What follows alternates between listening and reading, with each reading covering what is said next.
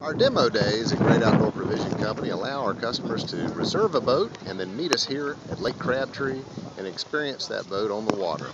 Today we have a group of folks that are very interested in the stand-up paddleboards, uh, particularly our SurfTech models.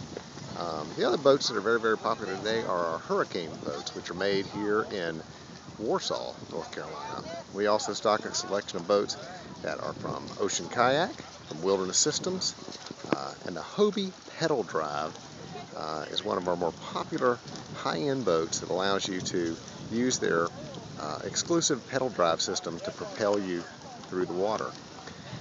Fishing kayaks are also very, very popular today.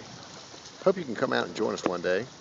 Call our Cameron Village location for more information.